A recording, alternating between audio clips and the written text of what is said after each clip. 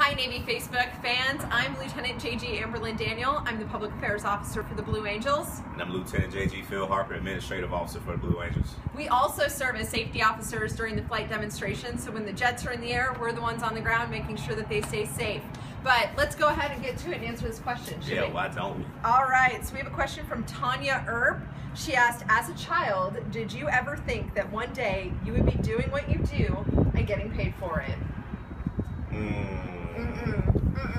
I know for me, I never expected to be a Blue Angel. I watched them growing up, but it is an absolute honor and a privilege to basically be paid to have fun every single day. What about you, Phil? I agree. I, I thought I was going to be a football player one day. It did not happen, but this is the next best thing. So um, I am also honored to be here on the team. Awesome. Well, if you want to come watch us put on a show, be sure to come out and see us, Tanya. Thanks so much for your question.